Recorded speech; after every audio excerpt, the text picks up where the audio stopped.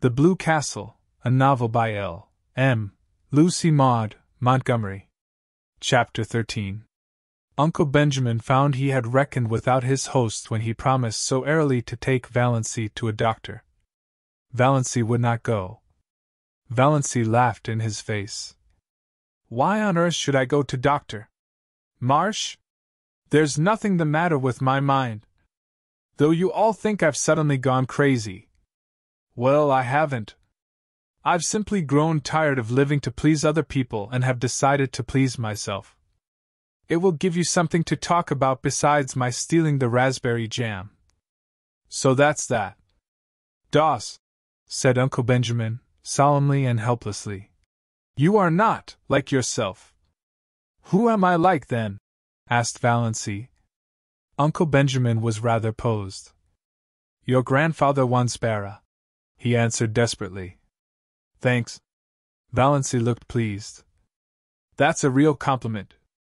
I remember grandfather Wansbarra. He was one of the few human beings I have known, almost the only one. Now, it is of no use to scold or entreat or command, Uncle Benjamin, or exchange anguished glances with Mother and Cousin Stickles. I am not going to any doctor.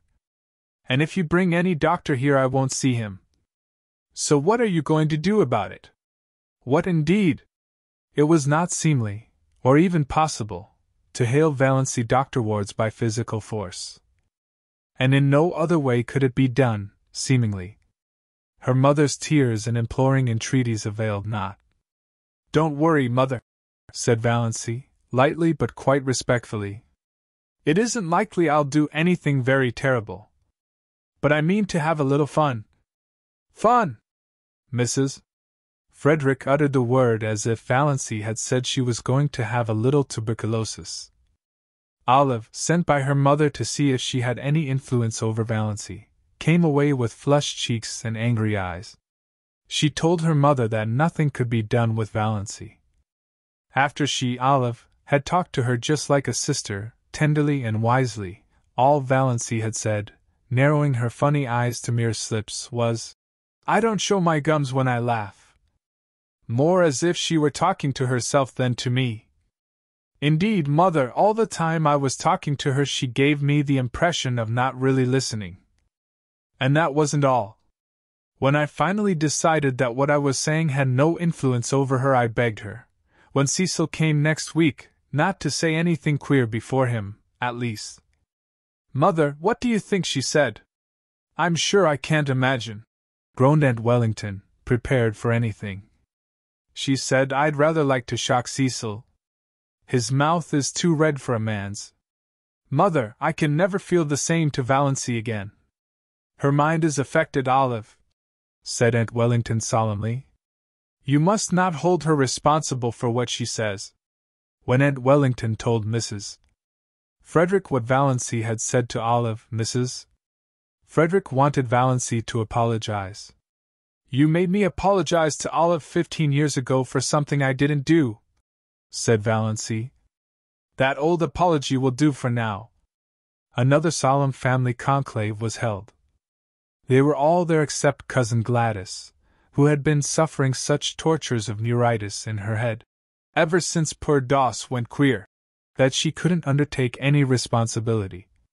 They decided, that is, they accepted a fact that was thrust in their faces, that the wisest thing was to leave Valancy alone for a while. Give her her head, as Uncle Benjamin expressed it.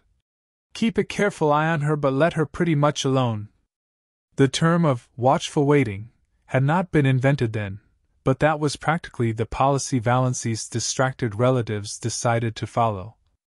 We must be guided by developments, said Uncle Benjamin. It is, solemnly, easier to scramble eggs than unscramble them. Of course, if she becomes violent. Uncle James consulted Dr. Ambrose Marsh. Dr. Ambrose Marsh approved their decision. He pointed out to irate Uncle James, who would have liked to lock Valancy up somewhere, out of hand, that Valancy had not, as yet, really done or said anything that could be construed as proof of lunacy. And without proof, you cannot lock people up in this degenerate age. Nothing that Uncle James had reported seemed very alarming to Dr. Marsh, who put up his hand to conceal a smile several times. But then he himself was not a Stirling. And he knew very little about the old Valancy. Uncle James stalked out and drove back to Deerwood, thinking that Ambrose Marsh wasn't much of a doctor, after all, and that Adelaide Stirling might have done better for herself.